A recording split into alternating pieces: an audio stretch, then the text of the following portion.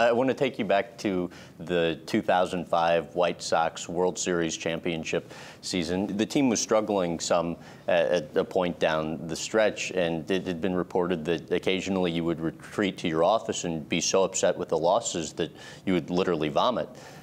How true is that? That's very true. Why? I know was uh, because I think we have we wasting our chance.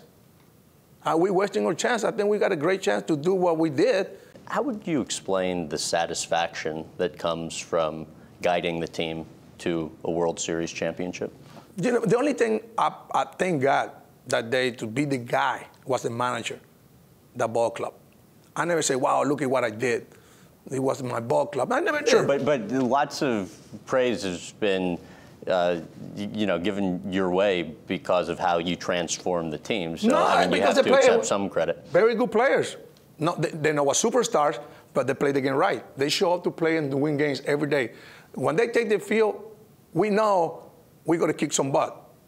They know. They have that feeling about it. They have a great pitching staff. They have great defense. They got a great. But listen, it's a funny thing about it because a lot of people know me the way I am. People thought the soon we got the last out in Houston, I got to jump on the field and. You didn't. You stayed I didn't. in the dugout. No, because that's not my win. I, the only thing I did, I grabbed my three kids, hug them, kiss them, and thank God to be the guy who it was. Then I stay away from the players. I Why? did because that's because that's their party, that's their job. That, that, that, the reason we got there because they did it, not because I did it.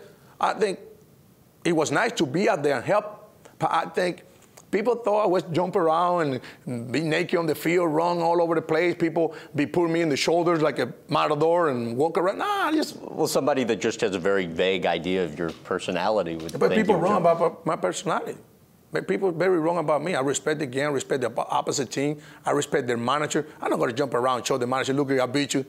That's that's that's.